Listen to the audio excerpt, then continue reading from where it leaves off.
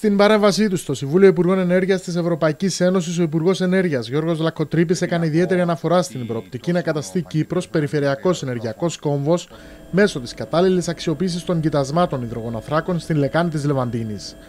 Ο Κύπριος Υπουργός, αφού καλωσόρισε την υιοθέτηση των συμπερασμάτων του Συμβουλίου, υπογράμμισε ότι για να επιτευχθούν οι στόχοι της Ένωσης στον τομέα της ενέργειας, είναι απαραίτητη η άρση της ενεργειακής απομόνωσης όλων των κρατών μελών και ιδιαίτερα η στήριξη των μικρών νησιώτικων χωρών όπως η Κύπρος. Οι Υπουργοί Ενέργειας αποφάσισαν τη λήψη επιπλέον μέτρων για ενοποίηση των αγορών, άρση της ενεργειακής απομόνωσης, βελτίωση του ανταγωνισμού και αντιμετώπιση των νέων προκλήσεων.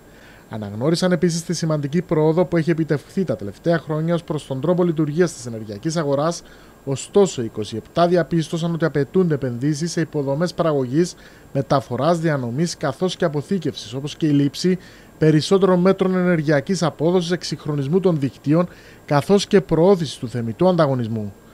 Σημειώνεται ότι στο περιθώριο των εργασιών του Συμβουλίου ο κ. Λακοτρίπη είχε κατηδίαν συνάντηση με τον Επίτροπο Ενέργειας Γκίντερ Έντιγκερ, τον οποίο ενημέρωσε μεταξύ άλλων για την έναρξη των εργασιών της επιβεβαιωτικής γεώτρησης στο οικόπεδο 12 στην αποκλειστική οικονομική ζώνη της Κύπρου, καθώς και για το έργο τερματικού υγροποίησης φυσικού αερίου.